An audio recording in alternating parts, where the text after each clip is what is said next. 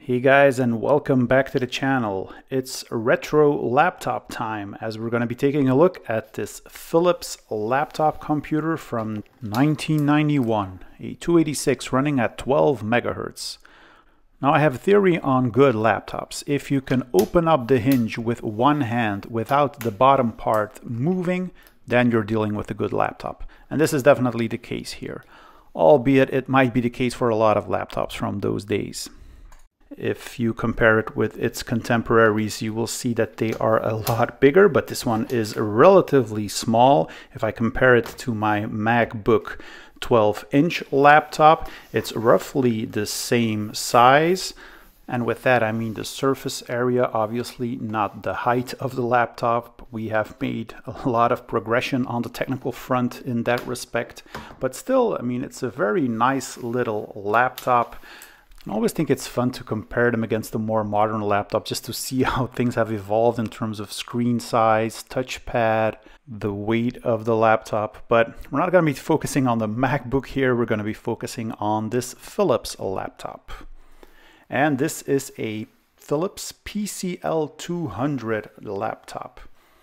Let's take a closer look at the surface. There is some sticky gooey here on the top cover that we will need to clean up at some point because it is very sticky. And on the back we can see that this is an actual PCL203 laptop. So this is the version which comes with a 286 12 megahertz CPU. It has a 1.44 megabyte disk drive. I initially thought that this would be a 720K disk drive, but it appears to be a 1.44 megabyte one. We also have two PS2 connectors here, one for the keyboard and one for the mouse. So that's really convenient that we can use those for an external keyboard and a mouse. Not something that you see on a lot of laptops. We have the power switch here just to power the laptop on and off. If we move to the back, we will see that next to the power input, we have two uh, plastic thingies here that we can take off, which exposes two parallel ports and one serial port. A bit strange to see two parallel ports. And this seems to be some kind of docking connector, I suppose. Here we have the power connector coming from the power supply unit, which goes into this power connector here. So yeah, power connector, two parallel port it seems, one serial port because we also have the PS2 ports and uh, what I think is a docking connector port. On the other side, we have a external VGA connector for hooking up a CRT and an optional modem which isn't installed here.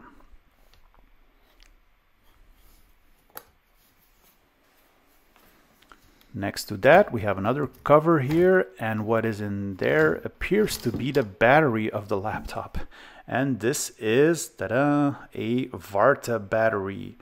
4.8 volts, do not throw in fire from 1995. So I'm guessing this was replaced at some point. But like all Varta batteries, this has started leaking horribly, so we're probably not going to be using that one anymore. So let's open up the laptop where we see a nice little keyboard here. I'm happy to say it is a QWERTY laptop keyboard. We have the function keys here. We have some special keys. Has a nice uh, clicky feel to it. Um, so yeah, really, really nice to see that one here. Now, as with most laptops, we have the FN key, which is a special function key, which will enable certain keys here, like we have Hercules mode, we can stretch the display, auto map, not really sure what that is, but we can set the CPU speed, slow and fast. We can uh, switch to an external display. We have a num lock on the keyboard. But now time to turn on the laptop. So let me hook up the power brick here. Insert it into the back of the computer. Goes into standby mode. We flip the power switch and the computer seems to start. It's definitely making a noise. We can hear the hard drive spinning up. And if we look on the screen, we can see the standard, you know, uh, BIOS tests which are occurring here. There is an error with the CMOS battery and the checksum, but other than that, all the tests seem to pass. It's only seeing 640 kilobytes, so normally this should come standard with 1 megabytes of RAM, and it can be upgraded up to 8 megabytes of RAM. We also heard the floppy disk initializing, so let's hit F1 to continue, but we get the disk boot failure. Insert system disk and press enter. Now before we continue, I just want to quickly point out we have four status LEDs here, standby, power, floppy drive, and hard drive. And also some of the keys on the keyboard have this built-in LED, which is a nice touch. Now for some reason it isn't starting from the hard drive, so let's boot with an MS-DOS floppy. I happen to have a data general MS-DOS 3.3 floppy disk lying around here. So let's boot this one up because I initially thought that this would be a 720 kilobyte disk drive. So I took that particular disk, but this seems to work with a 1.44 megabyte disk also. But let's just boot into MS-DOS. This is version 3.2. And I just want to load up fdisk to see if it is able to detect the hard drive because perhaps, you know, the disk isn't formatted or something, but we don't get a C prompt. And if we go into fdisk, we get a report that there is no fixed disk present. So yeah, that's a bit of a bummer, but this can still be related to the BIOS not picking up the disk. So let's go into that BIOS by hitting Control Alt Escape. And you can do that from within MS-DOS, you can do that from uh, the boot prompt, and it will load up the setup screen. And here we can configure stuff like the date and the time. We have already see that we have an internal disk drive 1.4 megabyte. We have a hard disk option of 20 megabyte. We can configure the hard drive power down time. I'm going to disable it for now. We see that we have one megabyte of memory size configured in the BIOS. We can toggle that as well. So this seems to go to a maximum of 8 megabytes. We can configure standby and power management, display type, monitor type, so I'm guessing this supports like VGA, EGA, CGA, and even Hercules. Don't know what the PS2 monitor type is about, but I'm assuming this is going to be an IBM PS2 type monitor. And then we can have some other uh, screen related settings like uh, width compression, uh, bold fonts, uh, stuff like that. Now let me quickly set the date and the time on this machine. So this is very easily done. And let's go to the hard disk options. So the boot disk was set to internal, but we can also set it to hard disk. Not really sure what the difference is. We can toggle various sizes of the hard disk. I'm guessing this one has a 20 megabyte hard disk inside, so I'm going to leave it at 20 megabytes. Hit F10 to record the changes, F5 to confirm, and then we should be able to reboot. And let's see if it will find the hard drive now. I'm guessing it will not because we didn't really change something. Now this CMOS RAM error and the check battery thing, if this is a Dallas clock type thing, uh, things can get a little bit iffy if you have a dead Dallas uh, chip on the motherboard. So I'm not really too much concerned at this point that there is an issue with the hard drive, but we'll see. Regarding the display of the laptop, we have a 640 by 480 LCD display. We have some keyboard controls where we can configure the brightness and the contrast, and we can also invert the LCD. Instead of having a black background with white text, we can basically invert that so that the black background becomes white and the white text becomes black. So you can toggle between these modes and again configure the brightness and the contrast within these two modes. So all in all, it's a very uh, readable LCD display. I had no issues, uh, you know, reading the text. So yeah, that was really nice. Now I did want to load up some software, so luckily I did still have the floppy disk, so let's open up uh, Grand Prix Circuit, which supports various display modes. And this LCD panel does support VGA, EGA, CGA, and Hercules and MDA. Now playing games on a laptop like this isn't ideal, but it is definitely doable. The TFT display with a backlight is sufficient to play some basic games and you can play around with the brightness and the contrast to set the screen to your desire.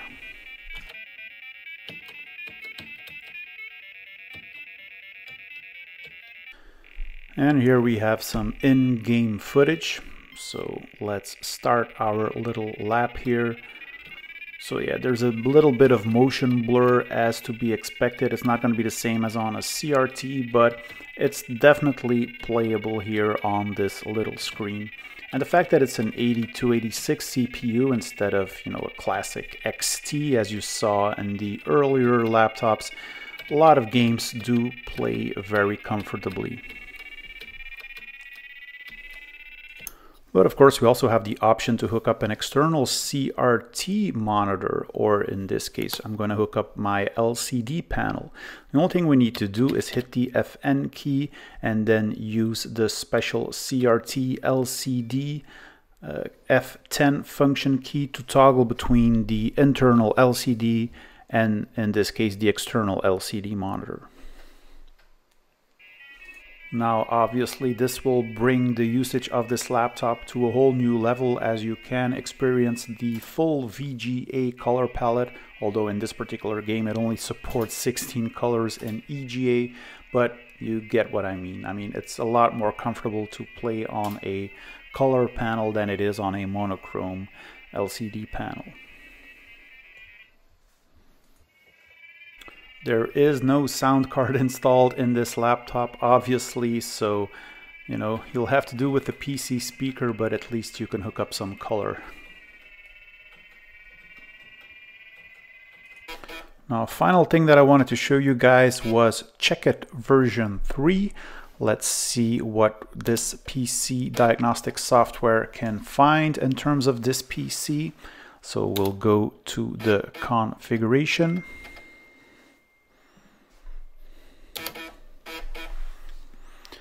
So here it has detected the 8286 AT machine. Base memory 640K is correct, but the extended memory 21 megabytes seems to be a bit off. Has detected the VGA video adapter, the 1.44 megabyte floppy drive, one parallel port. I thought I saw two on the back, one serial port, and 256 kilobytes of video RAM.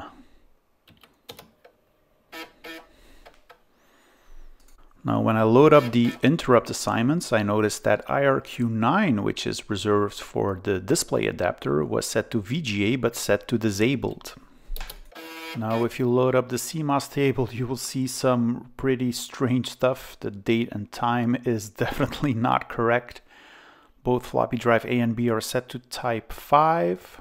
We again see the 22 megabyte of memory and the primary display seems to be the CGA instead of the VGA. So not really sure what's up with that. In terms of benchmarking the main system, this will obviously be a lot faster than your traditional IBM PC XT because this one is clocked at 12 megahertz. So this is a 286. So this is probably going to be around seven or eight times faster than an IBM PC XT. So 7.25 times faster. There is no floating point unit installed, but also on that front, it's definitely a lot faster. We can do a video system benchmark as well. Also a lot faster for obvious reasons. Now the laptop isn't really usable without any storage. So in part two, we're going to be looking at this two and a half inch hard drive that came with the laptop. This is a Conner 20 megabyte hard drive. We're going to be looking at the internals of the machine. In particular, I have high hopes that replacing this chip will bring the computer back to life. Of course, we also had the mandatory screw up while disassembling this laptop, so this is also going to be fun. I'm going to see if I can clean her up a little bit and see if we can put everything back together again. But until then, I really hope you've enjoyed this first part of the video, a quick uh, look at the laptop. If you did, please consider giving it a thumbs up. Consider subscribing to the channel if you like this kind of retro content. And I hope to see you guys very soon for part two on this Philip PCL 203 retro laptop. Bye bye.